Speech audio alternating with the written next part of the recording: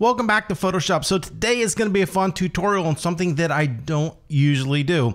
So recently, as you can see, I went up and photographed the Milky Way at Cherry Springs State Park. So there are a lot of tutorials out there in how to tone in Photoshop. Unfortunately, most of the astrophotographers do not do it in the correct manner. What I'm going to be showing you is professional techniques of how to tone as a photographer to get more out of your image and hold those adjustments back from the areas that you don't want. No, I am not a professional astrophotographer. However, I am a photographer and I've been using Photoshop for over 25 years. So what I'm going to show you are some really cool techniques to make adjustments using luminosity mask in the if then blender to hold back that from the areas where you don't want those adjustments to happen. I'm also going to go over a basic stacking technique inside of Photoshop now, this stacking technique works good for those who don't have stacking programs. However, if you do have a stacking program, those do work really well. In this case, I'm going to show you how a basic photographer could go out, photograph the Milky Way with nothing more than a camera, a lens, and a tripod, go into an Adobe product, and get an amazing photo out of it.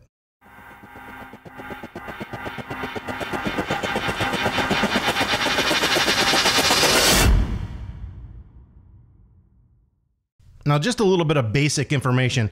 This is Cherry Springs State Park in Pennsylvania. And if you've never heard of it, it's a great place to go to. This is the day after a new moon. It was perfectly clear. It was actually a perfect night for astrophotography. I'm going to explain to you what I did here. This is a series of photos and they were taken at eight seconds. This is a series of photos and my shutter speed was eight seconds. I was using a 35 millimeter f 1.4 lens at 1.4, and my ISO was either 1600 or 2000. I can't remember. And I was shooting on a Canon 5D Mark III. Now, obviously, having a very fast lens like that is going to make a difference. However, if you do have a wider angle lens, it is going to allow you to take a little bit longer of an exposure. The most difficult thing actually with astrophotography is actually getting the image in focus by just looking at your viewfinder. It helps to use the magnification on the preview or in live view or a computer or an external monitor to allow you to view the shots to make sure that you are in critical focus. So what we're going to do here is I have this series of photos and they haven't been edited yet. I've just starred them just so that they just so that I know which ones I wanted to use here. I actually don't use bridge. But I put them in Bridge because I think this is more likely an application that most people are going to be using. I'm going to do a shift click technique. So I've selected the first image and I'm going to click on the last one and that's going to select everything in between. Now, this is kind of a weird program. You can't actually double click up here or hit Command E like you can in some programs to launch them into Photoshop. You just need to double click down here and this will launch these images into Adobe Camera Raw first. Now, shooting in RAW is, is really key here. Anytime that you can shoot raw in photography, it's going to make a huge difference in the final output of your images. Now, once again, just like before, I'm going to hit Command A this time and it's going to select all these images. What I want to do is I want to make the adjustments exactly the same on every single image. And inside of RAW, if I select them all, as I make an adjustment over here, it's going to apply it to every single image. Now, if your RAW doesn't look like this, you might have the older version. This is the brand new version of RAW. However, it's not going to make a difference. It basically works exactly the same. The process is exactly the same. Now, key setup idea right down here, you have some information. I'm going to click on this little line. Now, I've got my little circle out. I forgot about that guy. Right down here, you see you've got Adobe RGB 1998 16 bit. I want to go ahead and click on this line and it's going to bring up this dialog box. I want to make sure that I have a color space selected that I'm using on my computer. So as I edit in Photoshop, I use the color profile of Adobe RGB. Why this over sRGB? Well, it's a larger color gamut. Why not ProPhoto is the other question that I'm most likely going to get. Well, ProPhoto is a larger color gamut, but it really doesn't support anything. I'm going to get all the information that my camera can actually capture in the Adobe RGB profile. So in this case, I'm going to leave it. Now, the key thing here is to make sure that you're in 16 bits. You don't want to be in 8 bits. You want to be in 16 bits. That's a big, big difference as far as image quality goes. So this stuff down here, don't worry about it. Doesn't make a difference at this point. So I'm going to go ahead and okay. Now, what we're going to do here might be surprising to a lot of people. I am not going to make a lot of adjustments inside of Adobe Camera Raw. Now, normally I would. However, I'm not. I'm just going to do some minor alterations to the image. In astrophotography, I can do a lot of adjustments or selective adjustments a lot more effectively inside of Photoshop than I can ever in this program here. And so what we're going to do is just make some small adjustments. And the first thing that I'm going to do is just boost my overall exposure up just a little bit. Now up here we have the ability to pick different color profiles. I've got Adobe, Landscape, Portrait, Vivid. You would think that would give me a little more color. I am going to put some color in it, but I'm going to go ahead and actually use Landscape. And, and the reason for that, and you can see this image shift, it has a little less contrast in the image. When you're toning your initial image, you don't want it to be contrasty, meaning you don't want it to get really dark in the darks like that because as you bring these out, they're going to start to fall apart. You want to have more tonal range there than less. So we're just going to go ahead and hit Command Z and undo that. That would be Control Z on a PC. Now I'm also going to lower my contrast just a little bit. Just like I said before, I want to lower that contrast. As I make a selective adjustments, it's going to bring out those areas a whole lot better. I can add that contrast back in at the end. I don't need to do it right now. So the next thing I'm gonna do is I can come here to my highlights. I'm just gonna open up my highlights just a little bit. Actually gonna bring my exposure down and I'm gonna come over here and I'm just gonna bring up those highlights a bit. All right, and that looks pretty good. Now, I do have a color cast here and I can remove that later. I'm not gonna do any color adjustments at all right now. And this is actually all I'm gonna do here, except for noise reduction and we're also going to do a little vignetting here. Uh, sometimes when you shoot with wide angle lenses, they do vignette in astrophotography a little bit on the edges. However, this is not as much edit as actually the color of the sky. So we're going to do a little bit of work there, but not a lot. Now, what you want is under optics right here in the new one. And under optics, we're going to see vignette. And we want to make sure that this is open so that there's the secondary option of midpoint. And what we're going to do is just slide this to the right and that's going to brighten. If I slide it to the left, it's going to make it darker, but we're just going to open up those areas.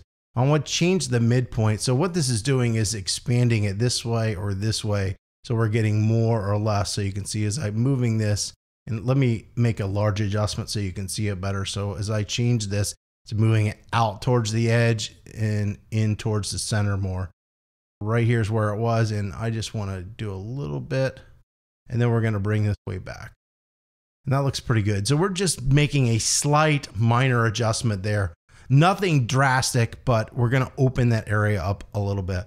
Now you could do this with the brush and paint it in with flow and it would be more effective, but you would have to paint it into every single one of these images and that would be too difficult.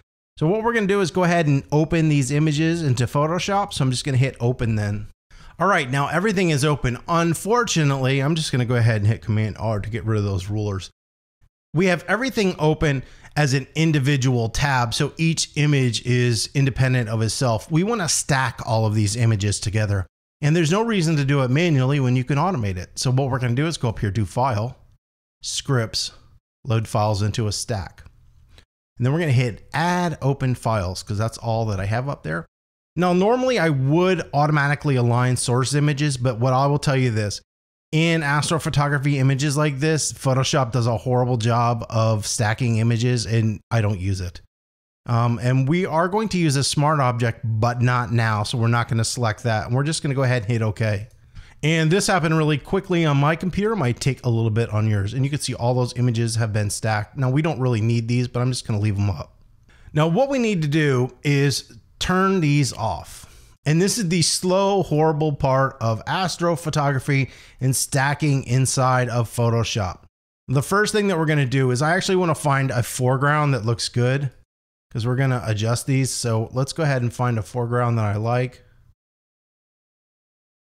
This doesn't mean that you have to use this foreground, but we'll just say that one looks okay. So this looks pretty good. So I'm going to hit Command J and then I'm going to rename this by double clicking it. I'm going to call it trees.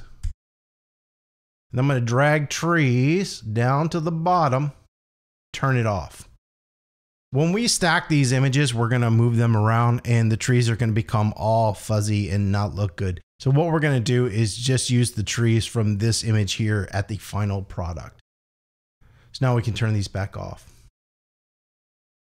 And what we're going to do is select the, you're going to have the bottom image on. We're going to select the top image, turn it on, and you're going to go up here to opacity and reduce the opacity to 55, 50%, somewhere around there. Now I use something called a scrubber so you can see as I go over the number and then I go over to opacity, my cursor changes to a hand with two arrows. If you hold, if you click and hold and you drag to the left or right, it changes the numerical value. Or you could just come over here and use the slider. But you're gonna see me use that scrubber a lot. So that's what I'm doing. I'm clicking on opacity when the hand comes up, holding it down, going to the left or right to change that numerical value. And that works for any numerical input inside of Photoshop. So what we need to do is I'm gonna do a command plus and we're gonna zoom way in here and this should look horrible. And I wanna zoom in pretty good to see this to make sure that I'm aligning these up correctly. Now we are having a little bit of rotation. Remember the earth is rotating sort of like this. At some points, these might need to be rotated just here or two to line up perfectly, but we'll see. We might not use all of these images. So let's go ahead and start stacking. And the reason for stacking is to reduce what's called the noise to signal ratio. Basically, the noise is going to get removed by averaging, and we're going to keep all the detail because that is going to stay constant. So what we got up here is our move. This is going to allow us to move these images over top of each other. Now, this is the hardest part. That looks like they're on top of each other, but I guarantee you they're not. I'm going to be using the arrow keys a lot to sort of move the image around because it's more of a finite adjustment. And then you're going to see me turn this on and off. And what I'm looking for is movement. Try it one more to the right, see if that looks better. So now I'm seeing a little movement. So I'm going to go back to the left. And that looks pretty good. Everything seems to be lined up. So then you're going to come back to opacity and make that 100%. And then you're going to go up to the next image, turn that on, and reduce the opacity once again. And then we're going to go ahead and take that move tool, try to line those up, and then use the arrow keys to get it more exact. Then you're going to come over here and turn this on and off and that looks like they lined up pretty damn good. So we're going to go ahead and raise the opacity. Now I'm just going to go through the rest of these. No sense in me showing you exactly how to do this. The process is exactly the same and you're going to work your way all the way up to the top. So I'm going to speed this up and I'm going to work up to the top.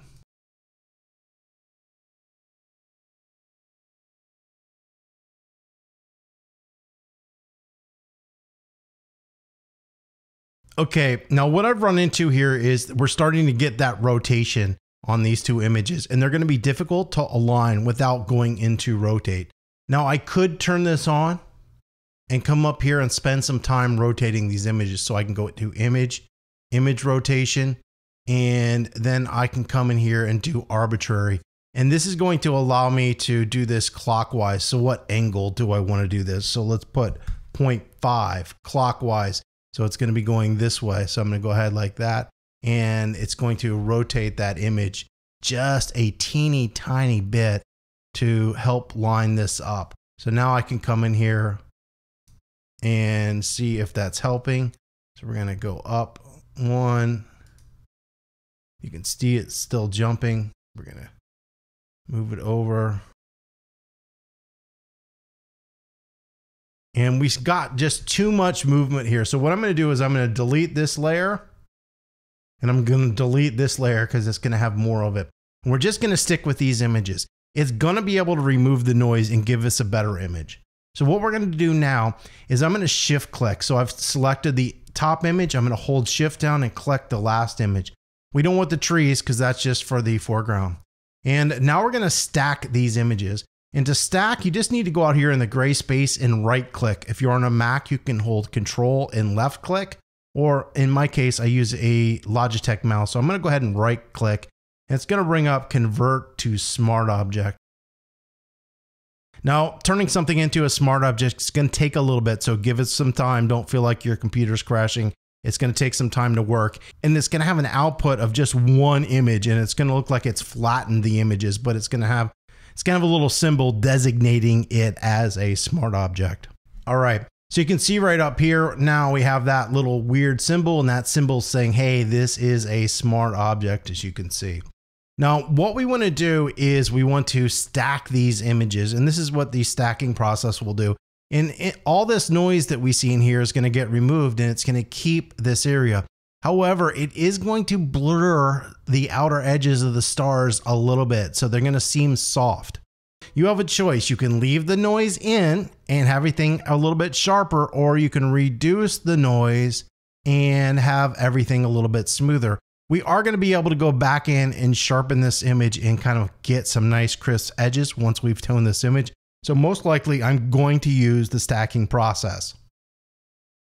To do this, we want to go up to layer, down to smart objects, over to stack mode, and we'll do two different modes. We're going to do mean and median and see which one we like better. If you want to know specifically what these are, you can just do a Google search and it will explain it. It's just two different ways in which it analyzes the stack.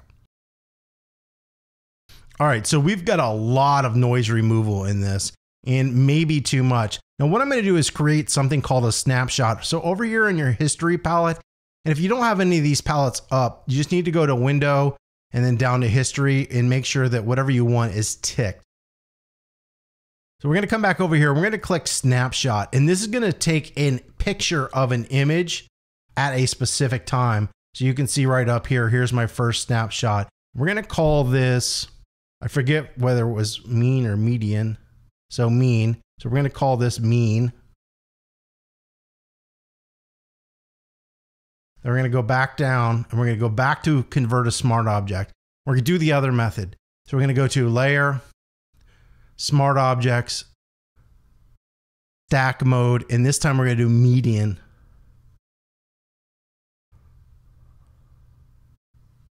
So let's take a look at the two. So I'm going to make a, another snapshot.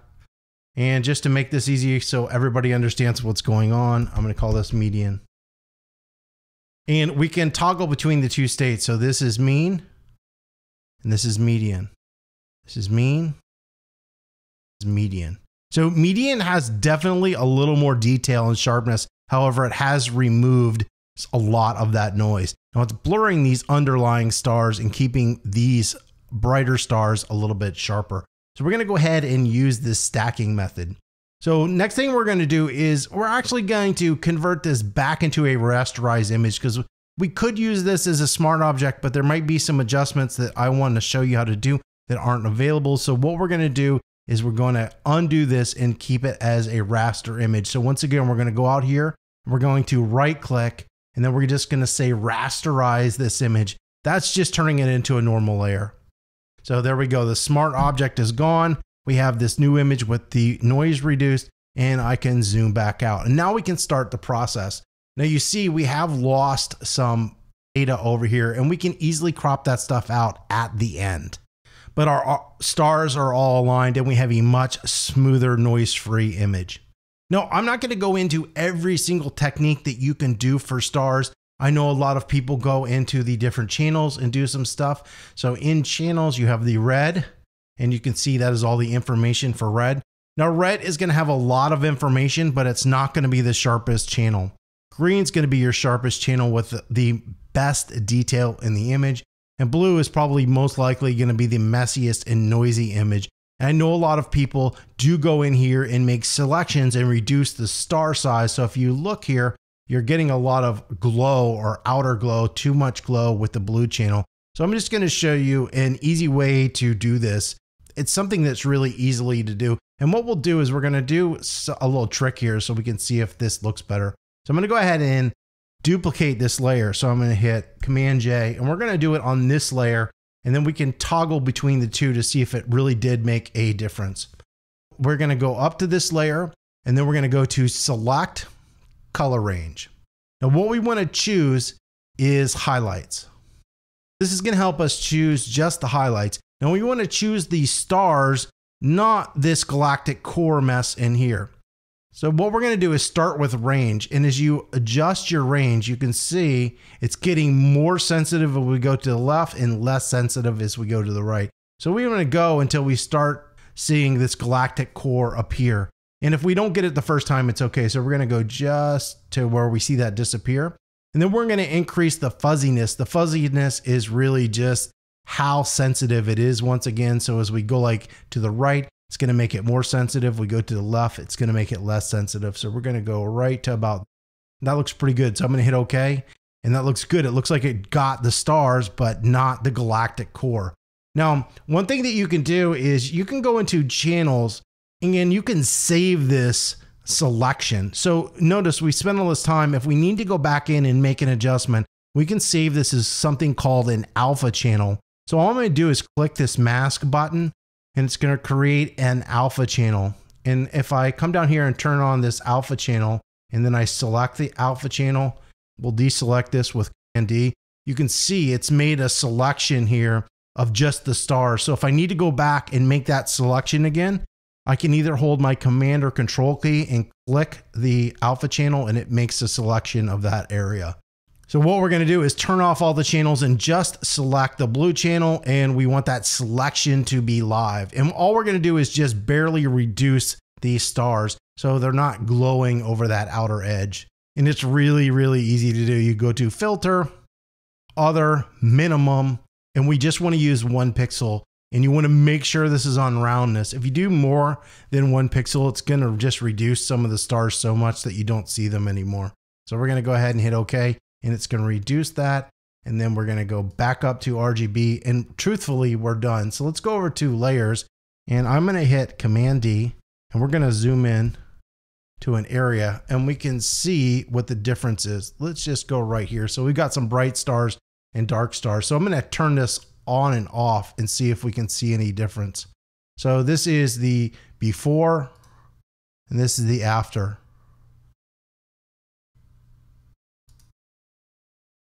Let's zoom in a little bit more.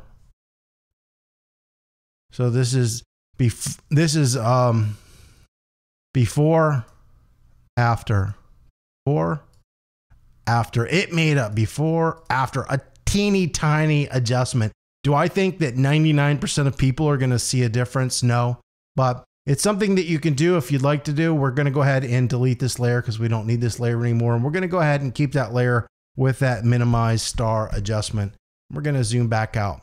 Now, this is the cool part of this tutorial, and I think where it's going to differentiate between the techniques that I use and what most people are using.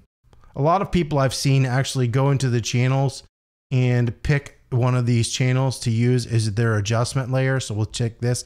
And they make this a luminosity adjustment by doing a command A, command C. Then they go back into here and over to layers, and then they paste that layer into it. And this luminosity layer brightens this up. So what you would do is you would come in here to luminosity. So it's just doing the brightness and you can see this is brightening that area. Well, that works great, but that's a stupid way to work. So we're gonna delete that because you don't have a lot of control over it.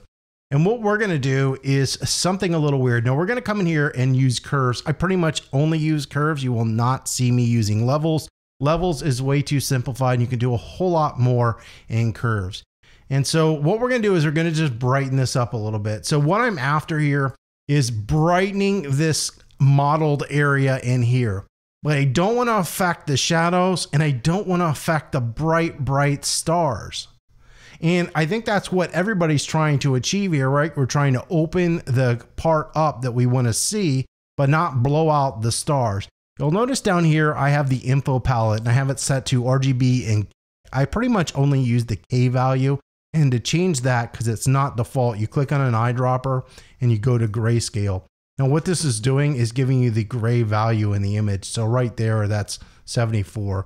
So if I come over here, I can get that star value, which has no detail in it. It's pure, pure white. So let's go ahead and zoom back out. And I'm going to show you how to preserve that information. So we've made this adjustment. I don't really care what the adjustment is at this point because it's not going to matter. And what we're going to do is we're going to create something called a luminosity mask. Very similar to a luminosity layer, but this is a luminosity mask. And to make one, you're going to come up here to image and go down to apply image. Now, you don't need to change any of this information. All you need to do is click invert. What this does is we can either apply this adjustment to the shadow areas of the highlights. In this case, we want to apply it to the highlights, so we don't want invert selected. And we're going to go ahead and hit OK. And now what you're going to see is this has turned into a mask and not just a plain black and white mask, a luminosity mask. So if I hold the Alt option, I click on the mask, you can see this is actual the mask. It looks like that green channel, but it's not. It's a mask. And anywhere it's perf dark, it's not going to apply the adjustment to it. And anywhere that it's bright, it is going to apply the adjustment to it. And you can change this mask by doing a simple curves or levels adjustment. So I can come in here and, and make this more dramatic and I can brighten up these areas to apply it more there, but I'm not going to do that to the highlights, but we'll, we'll leave that on the shadow areas a little bit. We don't want to make it too strong because this is a nice soft tonal curve. So we're going to go ahead and hit OK.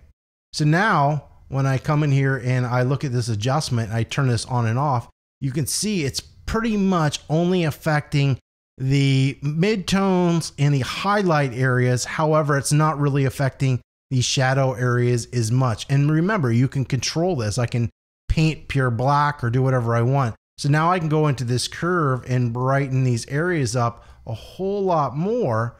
And I can make it so it is only affecting certain areas of the image and not others. Now, the luminosity mask is good but we told it to only affect the highlight areas. One of the things I don't want it to do is brighten up the stars anymore because we don't want to blow them out. So we're going to do a second option. So I'm going to come out here in this gray space and I'm going to double click and this is a left click. And that's going to bring up layer style.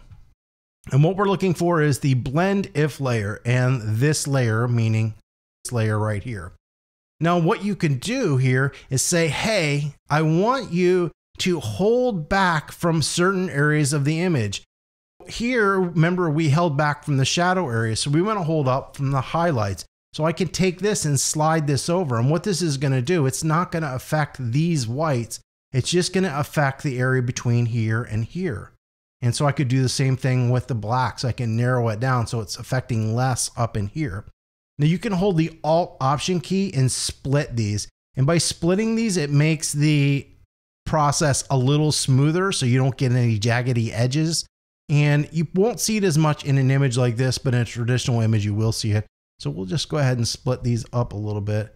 And what we're doing here is we're telling it, you can see as I dial this out, it's disappearing from this area. And as I slide it back, we're getting it back into those areas. So basically what I'm saying is, hey, I don't want it in the bright, bright, bright star areas, but I do want it to affect this area. So I'm going to go ahead and hit OK. And now we're going to turn this on and off and you can see the huge difference that makes, but we're holding back adjustments from specific areas. This is the way you should be toning an astrophotography image. Now you can isolate that to do whatever you wanted. If you wanted to affect the shadow areas, you would just be doing the opposite. Now I don't really want to affect the shadow areas, but I'm going to show you how to do it quickly. So I'm going to make that a curve. I'm going to bring up my shadows and I'm going to hold down my highlights. So we have an area where we're just affecting the shadow areas. And then we're going to go up to image to apply image and to affect the shadows, we want invert and we're to hit okay. So in this one, we can see this, it's not affecting highlights. However, it's affecting the shadows because the way a mask works is anywhere you see white, it is applying the effect. And anywhere you see black, it is not applying the effect. Now, we don't want to do this. So we're eventually just going to come up here and delete this layer. And then we can go in here and start painting and applying this idea to specific areas in the image. So what I'm going to do is just brighten up this area of the image. We want a little more contrast in the dark areas and we want more brightness in the other areas. So we're going to bring out that galactic core. What we're going to do is I'm not actually going to make a selection. I'm just looking at this area when I do it. So I'm going to come in here and I'm going to make another adjustment where I'm bringing up this area a whole lot. And then we're going to hold it back from the shadow areas. We don't want it to happen there. All right, so this is what this looks like. That's good, that's good. But we don't want it to happen everywhere. So what are we going to do once again? Yes, we are going to we're going to make a luminosity mask. We're going to go up to image, down to apply image. We don't want invert selected and we're going to hit OK. Now, right now, it's making that mask, but it is applying it everywhere a little bit. We only want it in a specific area. All right. If we look at this mask, you can see it's still not, not perfectly black over here. We want this area perfectly black. So what we're going to do is alt click that back. So I'm going to go ahead and grab my brush and I want to use black and I want a really low flow and I'm going to show you why a low flow. So what we're going to do is we're going to create a new layer on top of this layer so you understand what I'm doing. And we're going to fill this with white. So I'm going to shift delete as a fill command, go to white and show you what flow does in Photoshop if you've never used it. Now let's move this all the way up. Now, normally if you take the color black and you paint, it makes a perfect 100% color black. If you lower the opacity of this down to 40% and you keep going over it, it's just going to be 40% unless you let go and do it over again. Flow works totally differently. So we're going to lower the flow a lot. And each time I go over flow, it's going to build up, build up, build up until it gets totally black. This is going to allow us to blend and have smoother transitions between areas. So we're going to go ahead and turn this off and I'll just delete this so it's not confusing to people. We're going to use that idea to remove this from certain areas. So what we're going to do is we're going to paint actually into that luminosity mask using flow. I'm going to go ahead and make my brush soft and big and just kind of go over the areas where I don't want that to be applied, which is out here make this a super brush because we don't want it here and we don't want it here. We're just gonna come in here and just keep painting. Because remember, we just want it in this area, so we don't want any of that to spill over. I'm Gonna come in and paint it out. Now, if we come back up to luminosity mask and I alt click it, you can see we're starting to get darker, right? So I can go ahead now and I can increase this and I can make the black here and we don't want it there at all. So we're really isolating that. We'll click back out. Now we'll turn this on and off. Now remember, once again, we don't want that to apply to the stars. So we need to go and we need to double click out here and we need to apply the if then slider. And what we're going to do is just slide this over because we don't want it there. We're going to hold the alt option. We're going to split this and we can see when it starts affecting that area and when it doesn't. So right about there seems good. And we're going to slide this because we don't want to affect the stars.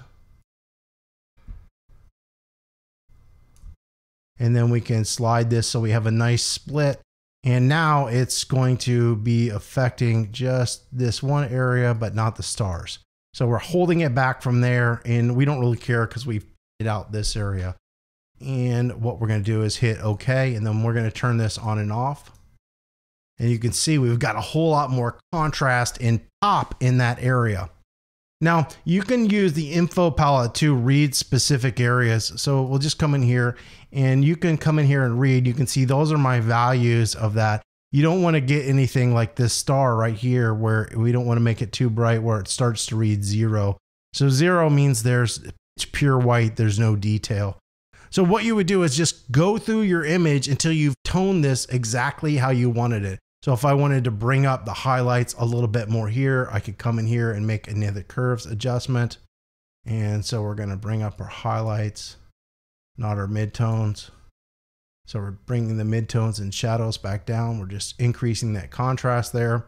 This one, I'm gonna go ahead and just hit Command I and make that black. And by making it black, I can make my brush a little bit smaller and I can just paint the color white. And I'm gonna paint the color white at 100%. And that's just gonna bring up those areas just a little bit. So you can see as I turn this on and off, we're just bringing that area up a little bit. Now, just like before, I can come in here and I can double click this and we're going to do both the shadows and the highlights. Remember, I don't want to affect the stars or the deep dark blacks. So I'm going to split this. Move this here because I don't want to affect those areas. And then I'm going to split this one and move this here and move this here. And now you can see we're bringing that area out, but we're not affecting everything in that image. Now right here got a little bit too bright. I can go in here and paint black or I can lower the opacity of this layer a little bit and just blend it in a little bit more. And just like that, we're bringing out this Milky Way and doing some amazing stuff to it. Now, if you want to add some color to this image, it's really easy. You're just going to come in here and make an adjustment layer. We're going to boost the color or shift the color, anything that you would want to do. I'm just going to show you how to do an overall color boost. Now, most of the color here is going to be the yellow and the red that we want to increase. So what we're going to do is go to red and we're going to increase that color. And then we're going to go to yellow and then we're going to increase that color. If you wanted to shift the color of yellow, you would just come in here and you can see you can shift the color of yellow. And we're going to do that in a second down there on the bottom. And once again, we're going to hit Command I to make this white black because black is hiding that adjustment now everywhere. And if we take white and we just go ahead and we paint it into a specific area of this image, now it's just making this area more colorful and it's not affecting the rest of the image. Now right here we have a little bit of light and this is just some of the ambient light that's over here by these trees and it's very yellow and it's a little bit distracting from this image. So what we're going to do is we're going to fix that. So I'm going to make another hue saturation adjustment layer. And then we're going to come over here because that color is yellow and we're going to shift that color to make it a little more red so that that color starts to look like this color. We're going to desaturate that so it's not as strong. And you can change the lightness here so we can get it so it's right about there. Now look, it's affected the whole image. We don't want it to affect the whole image. So Command I. And then we're going to come in here and paint. But once again, we want to use lower flow so we can blend up. So we can just come in here. Now the cool thing about doing this is if you mess it up and you go too far, it's okay. So we can fix that. Just like you can paint white, you can paint black. So you could paint it back out of a specific area and we can just blend that in to any spot. But we want to hit blah. You want to hit make sure that we're on white and we are, and we're just going to go ahead here and this area out to make sure it's totally gone. Pretty good there. And I'm going to hit X. So the letter X changes your foreground background. You can come over here and click it. But I usually just hit X and then I can come in here and make sure I haven't affected any of these areas right here. And that looks pretty good. So the last thing that I'm gonna do, and this is difficult to tell, I don't like to find a dark or a neutral spot in the sky and make it gray and shift it because truthfully, there's a lot of light spill over and it would be difficult to find a true neutral gray in an astrophotography image like this. So what we're going to do is just remove some of the blue and cyans that are in the darker areas of the image that we actually don't want. We want to keep them in the highlights, but we want to remove some of that spillover in those areas. So once again, we're going to come on here, make a hue saturation adjustment. And remember, we want to remove the cyans. We're going to remove the cyans. I'm just, I want to reduce that saturation a little bit. You can see it's reduced it everywhere. just like we did before, we don't want to apply that to the stars. So we're going to remove that from the highlights. So the first thing we're going to do is we're going to go up to image, apply image. We want to tick this because we want that to be applied to the shadow areas and we're going to hit OK. So now we've made a luminosity mask and it is not doing this adjustment star areas of the image, but I'm going to increase that just a little bit because it is doing some. So we can come over here just to make sure we can get our if then blender. We can come out here and I can move this up way up so we're not affecting any of those areas and hit OK.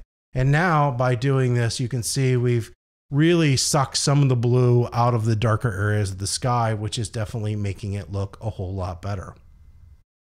So I'm going to come in here now and I'm going to crop this. We're going to go to 2 by 3 because this is the original format.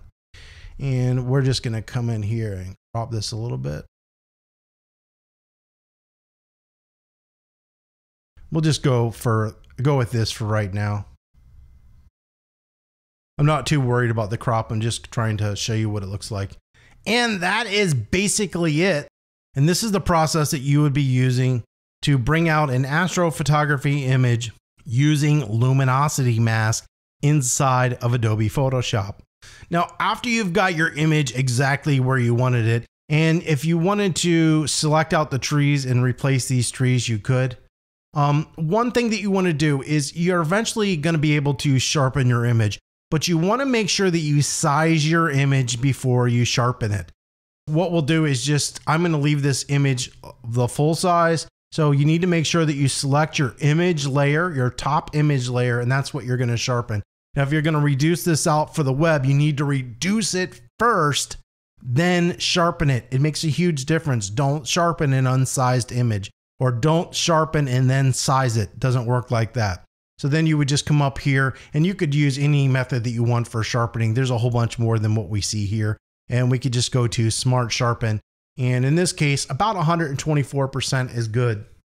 Now, one thing that you want to do when you sharpen is you want to bring your image up to 100%. You can tell when it's at 100% by looking right here. So one more click and bam, we are at a 100% right there. And that's what you want to look at when you sharpen. So we will come up here now and we can go to sharpen and smart sharpen. And this is going to give us a view of what it looks like. And as we make it a ton, it's going to over sharpen it now and it will get way too sharp. And if we lower it too low, it's not going to be doing anything. So you just want to get it to that happy medium. We're going to do about 124 on this image. And bam, just like that, we've got a nice sharp image. And then I will back out. And that is basically it. Now, if you do want to save this to the web, make sure that you convert this image to sRGB. If you don't know how to do it, it's easy. You go to Edit, Convert to Profile, and you want to select this to sRGB and hit OK. Now, when you post images on the web, they need to be in the sRG color format. You don't want to save your images that you're going to print or you use as sRGB, just something that you were going to size and use on the web. That is basically the process. If you found this video helpful, don't forget to give it a thumbs up. If you have any comments or questions, you can leave those below. And as always, don't forget to subscribe.